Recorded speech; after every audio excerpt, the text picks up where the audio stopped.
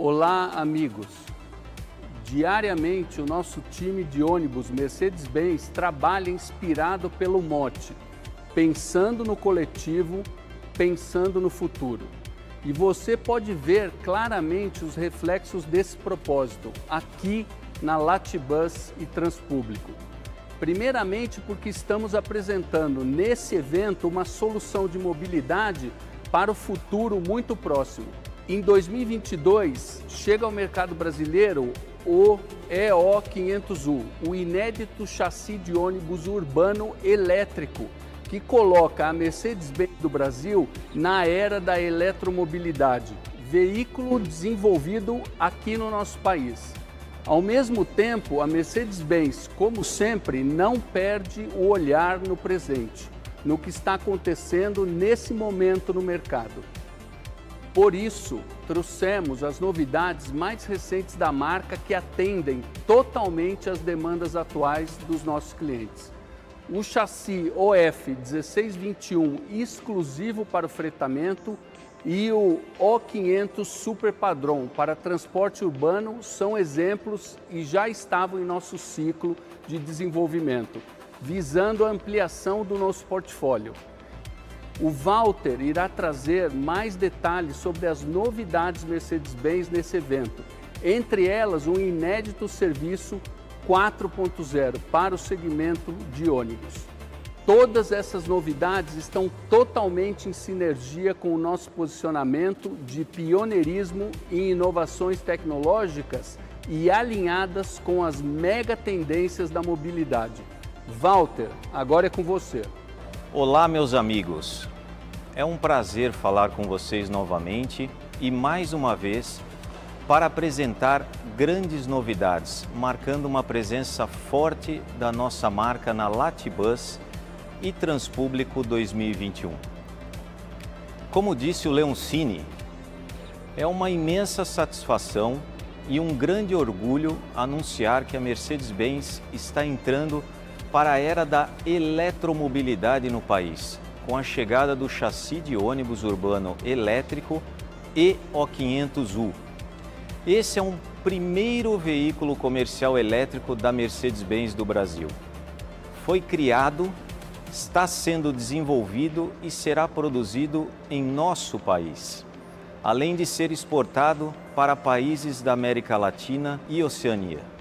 O EO500U é um modelo padrão 4x2 de piso baixo para carrocerias de até 13,20 metros da nossa consagrada linha O500. Como grandes diferenciais, o EO500U terá autonomia de 250 quilômetros, a maior autonomia de ônibus elétricos no Brasil, além da maior capacidade de transporte de passageiros deste segmento. O sistema de recarga das baterias é do tipo plug-in, no mesmo padrão tecnológico utilizado pela Daimler em seus ônibus elétricos e leva até 3 horas de duração para a recarga completa. É uma grande novidade para o nosso mercado, não é mesmo? Mas ainda temos nesse evento outras novidades a mostrar. Nos últimos meses, o chassi de ônibus urbano O500 Super Padrão reflete esse nosso objetivo de atender permanente as necessidades dos nossos clientes já tínhamos identificado a oportunidade de desenvolvimento de um chassi urbano que se posicionasse entre o O500M 4x2 para carrocerias de 13,2 metros e o articulado O500MA 6x2 de 18 metros, a fim de ampliar a mais completa linha de ônibus e já estávamos em etapas avançadas do desenvolvimento. A queda no volume de passageiros do transporte coletivo, causada pela pandemia, antecipou a chegada do Super Padrão ao mercado para março desse ano, sem prejudicar em nada qualquer estágio de testes ou preparação da nossa fábrica. O Super Padrão é o maior chassi da categoria 4x2 urbano do mercado brasileiro, desenvolvido para carrocerias de até 14 metros de comprimento, com capacidade para até 100 passageiros. Com essa eficiência, o Super Padrão pode transportar a mesma quantidade de passageiros que um modelo 6x2 de 15 metros.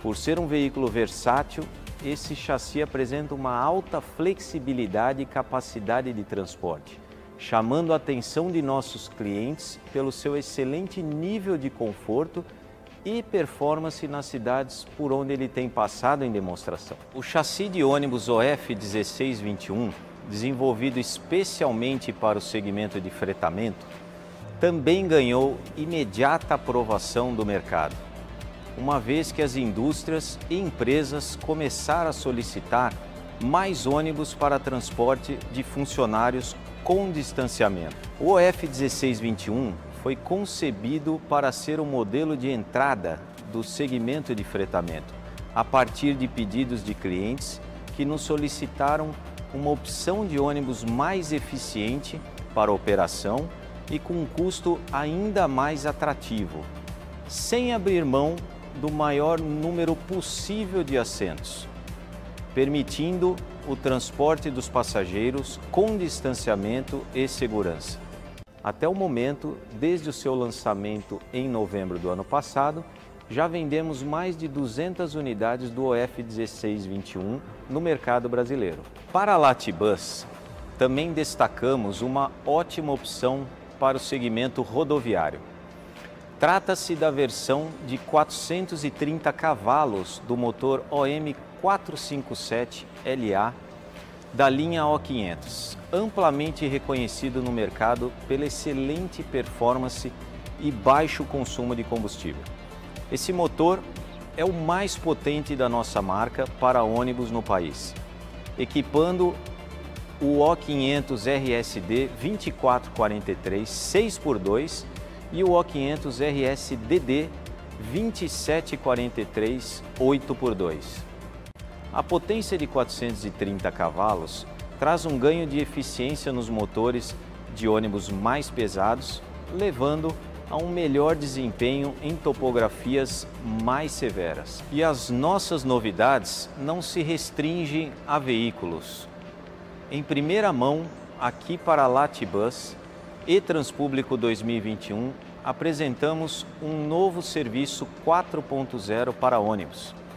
A partir de 2022, traremos ao mercado um serviço dedicado de telemetria e conectividade com padrão Mercedes-Benz de segurança, precisão e confiabilidade para os nossos ônibus. Mas antes disso, já a partir de outubro, iniciaremos um teste piloto com os clientes para que eles possam ter a experiência dessa novidade em sua operação. Essa inovação que está sendo desenvolvida exclusivamente para ônibus, vem sendo preparada juntamente com parceiros da Daimler, de grande experiência nos mercados brasileiro, europeu e americano. Entre as principais funcionalidades do sistema estão o monitoramento e o diagnóstico de falhas em tempo real, eventos georreferenciados sistema de diagnose remota e análise online do comportamento do veículo. Com interface web e uso intuitivo e amigável, o nosso serviço trará muitas vantagens aos clientes, como redução dos custos operacionais e do consumo de combustível e, consequentemente, menos emissões de poluentes.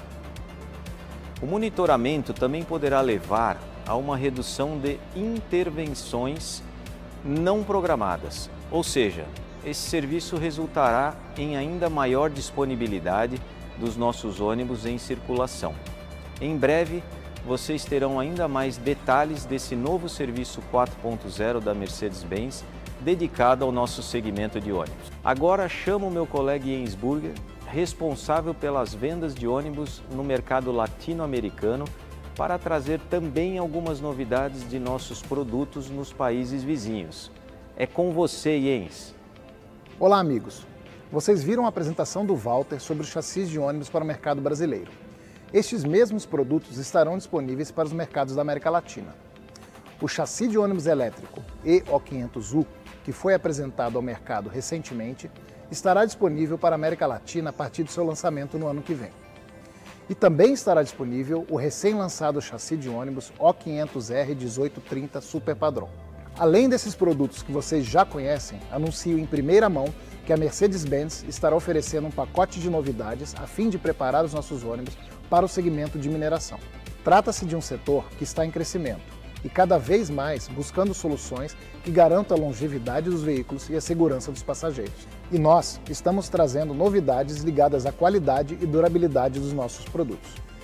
Como, por exemplo, pneus de uso misto que facilitam a transição das rotas urbanas para vias não pavimentadas, e tecnologia de segurança ativa, como o piloto automático adaptativo, sistema de aviso de faixa e sistema de frenagem de emergência.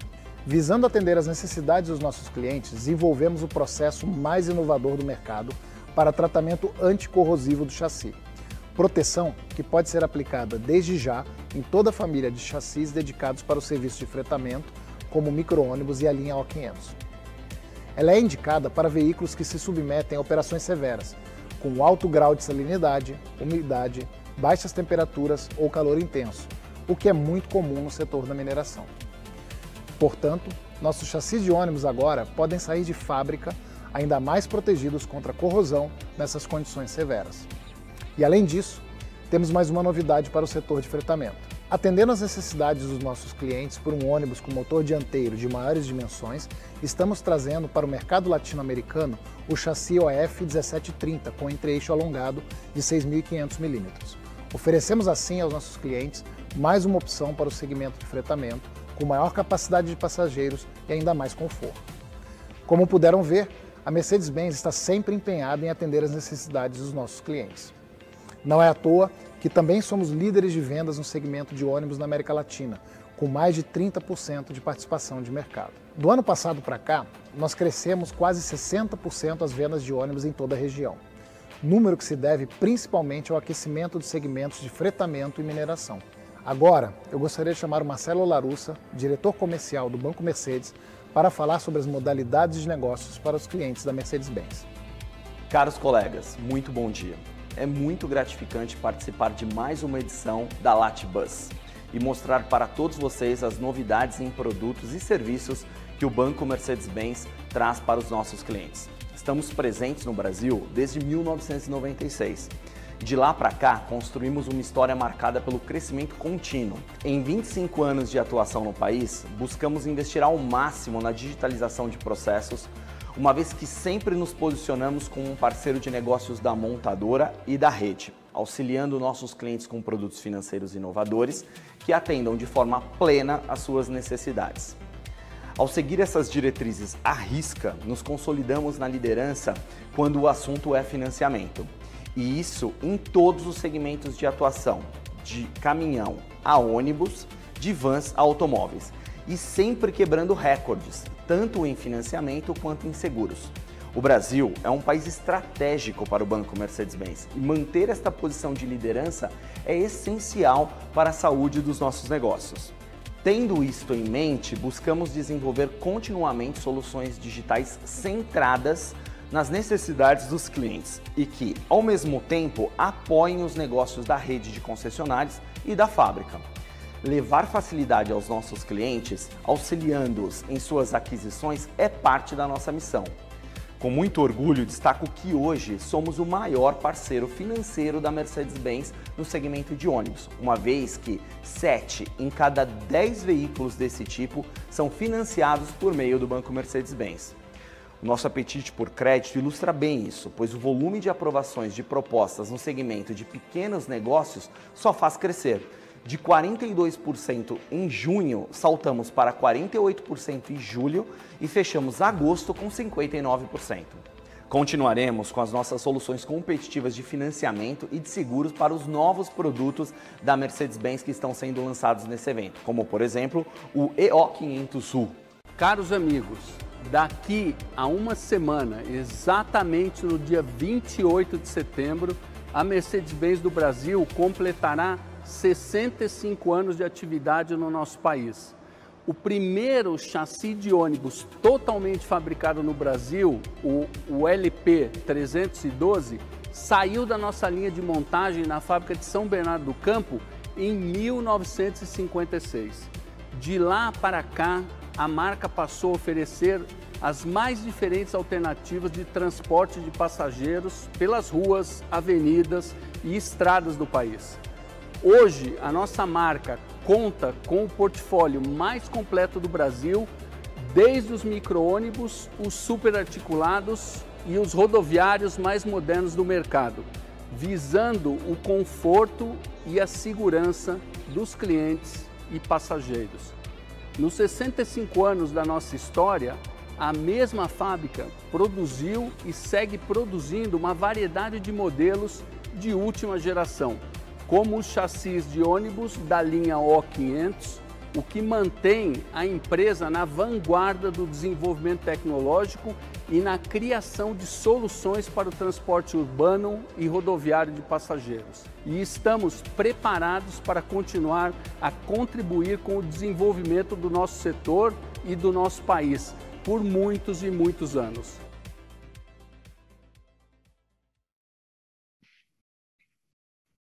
Bom dia, boa tarde, caros jornalistas do Brasil e da América Latina. É um prazer estar com vocês aqui neste dia.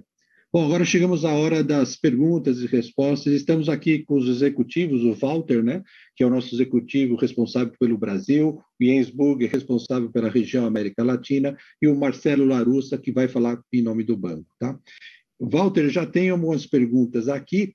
Mas para enviar suas perguntas, é só escrevê-las no chat, né, que nós chamaremos um a um.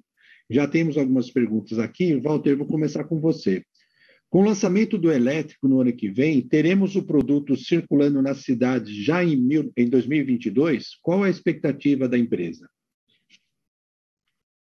Bom, muito bom dia a todos.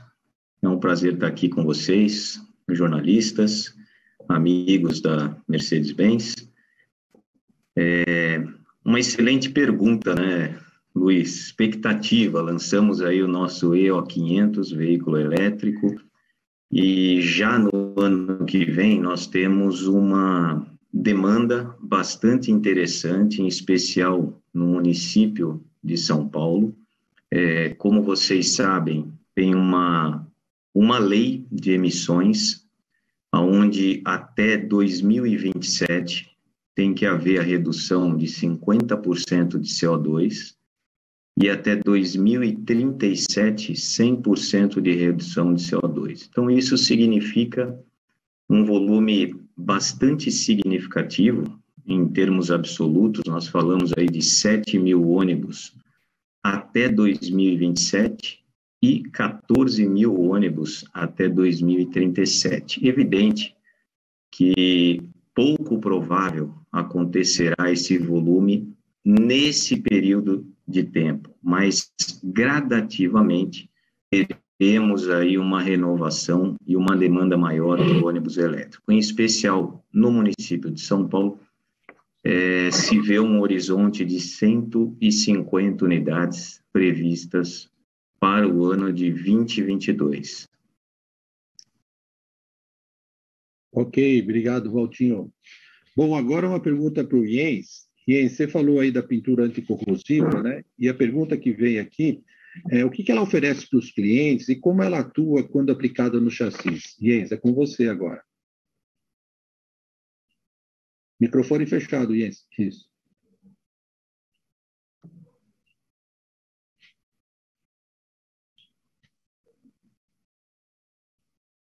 Jens. Jens, microfone. Não. Eu vou passar a pergunta para o Marcelo enquanto você verifica aí, tá bom? Marcelo, é, vem uma pergunta aqui. O Banco Mercedes está vendo a chegada do ônibus elétrico. Como é que o banco tem interesse no financiamento dos elétricos? Marcelo, é com você agora. Obrigado, Luiz. Boa tarde, pessoal. Bom, Luiz, a gente entende que os ônibus elétricos vieram para ficar, né? Os números que o Walter coloca são bastante é, importantes, né? significativos para o segmento, né? Para a gente é um caminho sem volta E a gente tem todo o interesse em promover soluções eh, financeiras para a aquisição desses produtos. Né? O ônibus elétrico é um novo veículo, é, abre um novo mercado é, e a gente entende que teremos muitas mudanças é, no segmento dos ônibus convencionais. Né? A gente tem trabalhado muito forte com a fábrica, buscando alternativas de financiamento e uma nova, modal, uma nova modelagem é, de negócios financeiros, né? É, para que a gente possa oferecer as melhores alternativas para os nossos clientes. Então, a gente tem trabalhado muito forte nesse assunto e a gente sai com novidades em breve. Obrigado, Marcelo.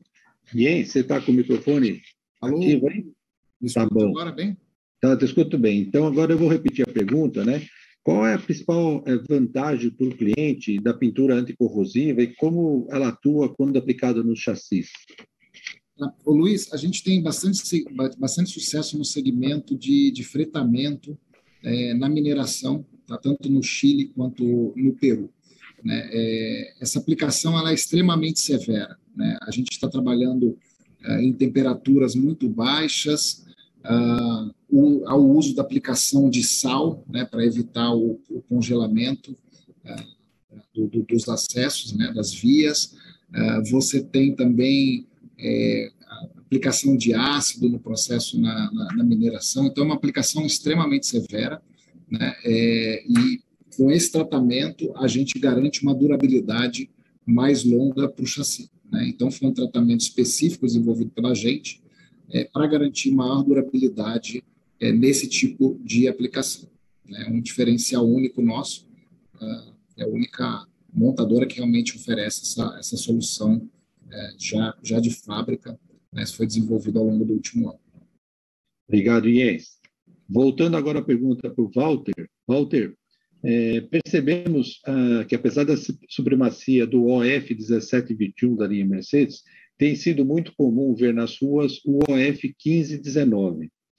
É, a Mercedes planeja modernizar o OF 1519 com melhorias de suspensão e no trem de força? Sim, sem dúvida.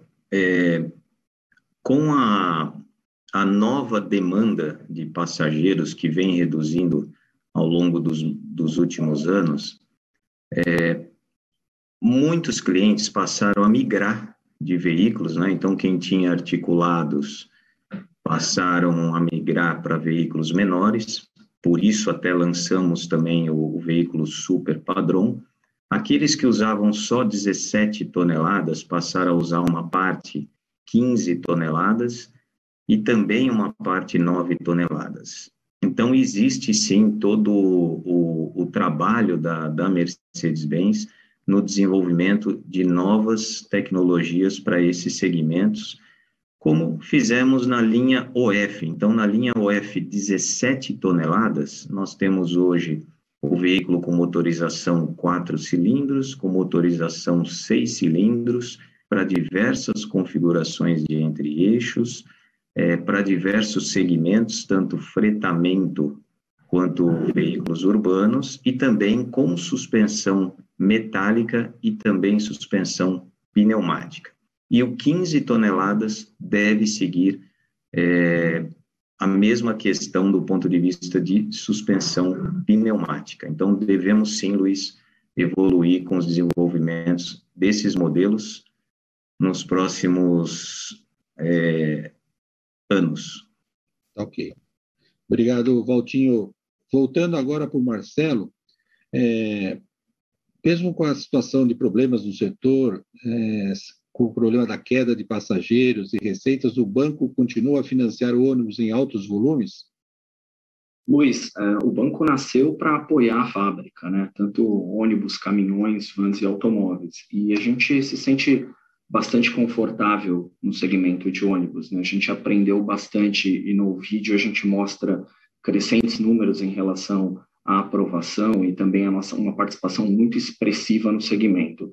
É, o momento realmente foi bastante é, difícil, tem sido, né, mas a gente percebe uma recuperação e a gente está, sim, sempre à disposição para continuar fazendo mais e mais negócios. Ok, obrigado, Marcelo. Voltando para o Walter. Walter, como é que são as vendas do Super Padrão? Quais são as praças que mais estão comprando e ele veio para substituir o modelo de 15 metros? Walter? Exatamente, Luiz. O, o Super Padrão é um veículo de 14 metros e com capacidade de até 100 passageiros. Então, aquele cliente que hoje o, o veículo articulado de 18 metros ficou grande, o Super Padrão vem para atender de forma perfeita é, esse tipo de segmento. Então, ele tem um grande mercado é, em municípios é, como Belo Horizonte, como Recife, como Sorocaba, como Manaus. Então, já existe grandes interesses aí desses municípios nesse produto. Qual é a vantagem desse produto? A grande vantagem é o baixo custo operacional quando comparado a veículos de maior comprimento, como um 15 metros ou até mesmo um 18 metros. E por que isso? Também porque ele tem apenas dois eixos. Todos os outros veículos maiores, eles possuem pelo menos três eixos. É, então, isso faz toda a diferença na hora do custo operacional.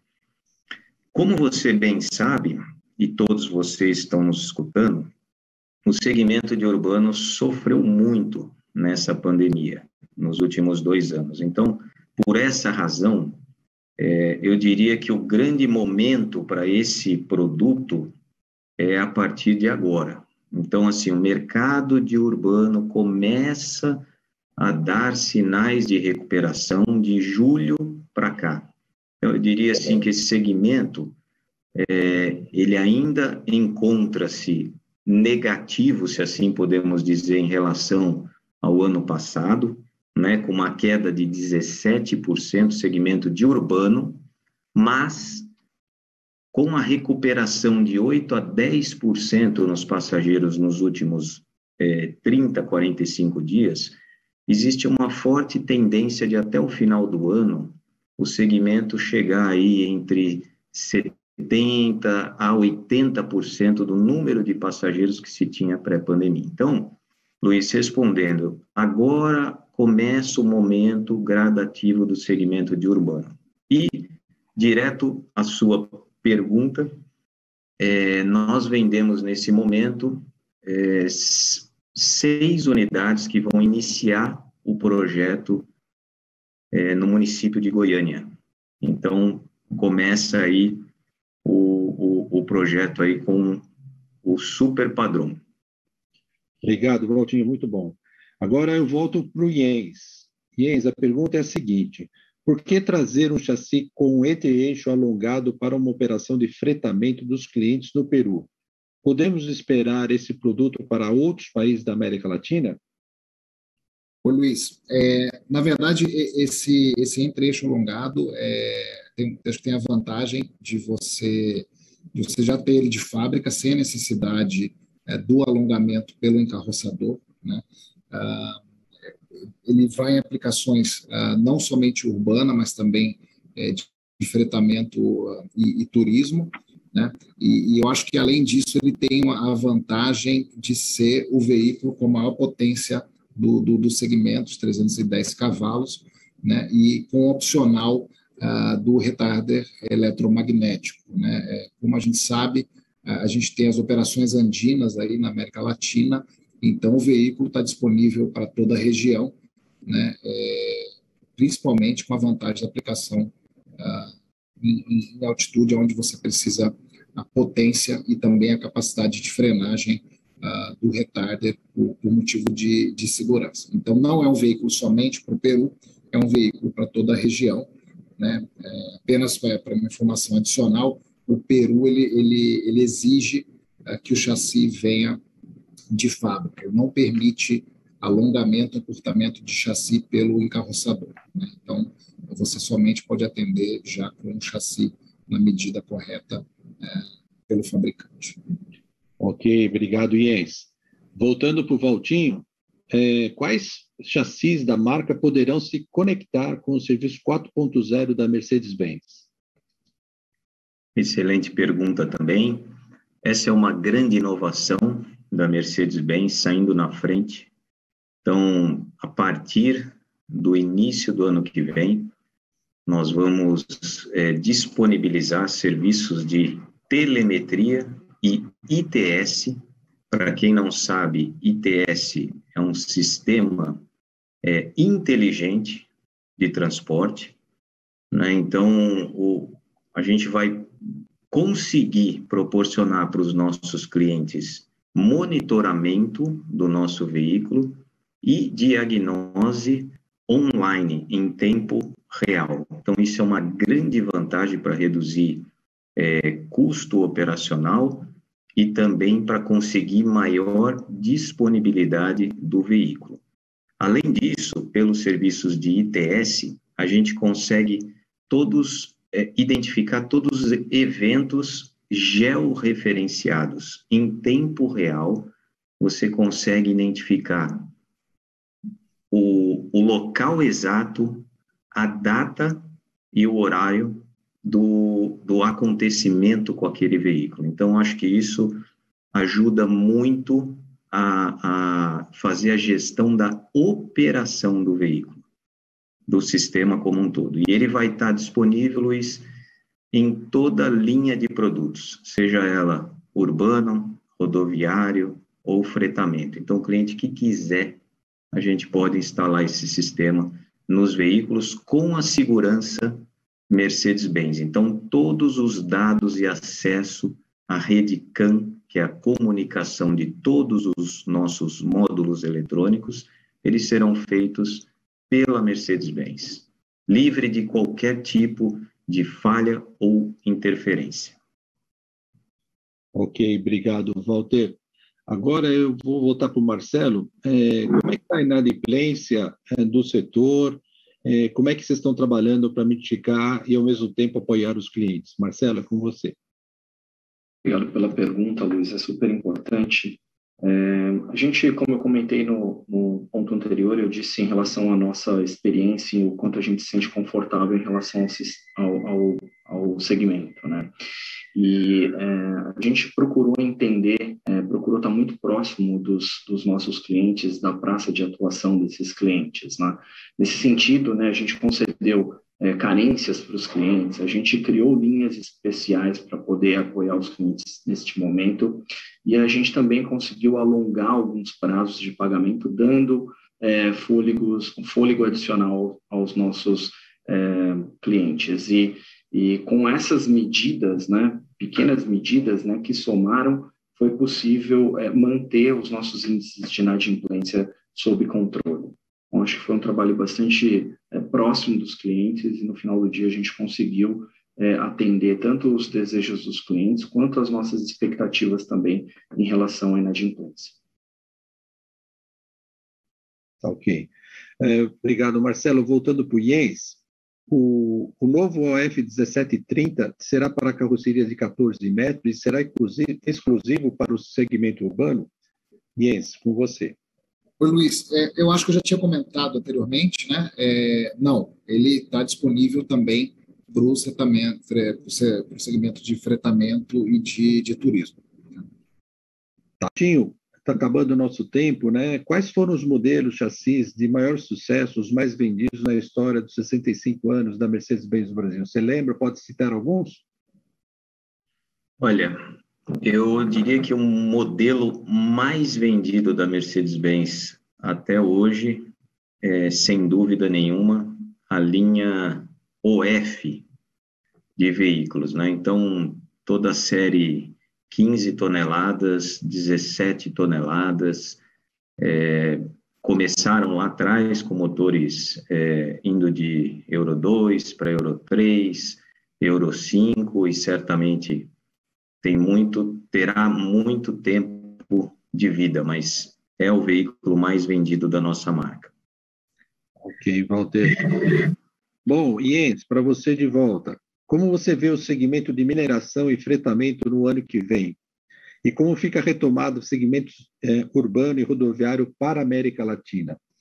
Ah, o, o, o segmento de, de, de, fretamento da mineração vem em alta. A gente tem, tem, tem uma demanda muito forte do segmento.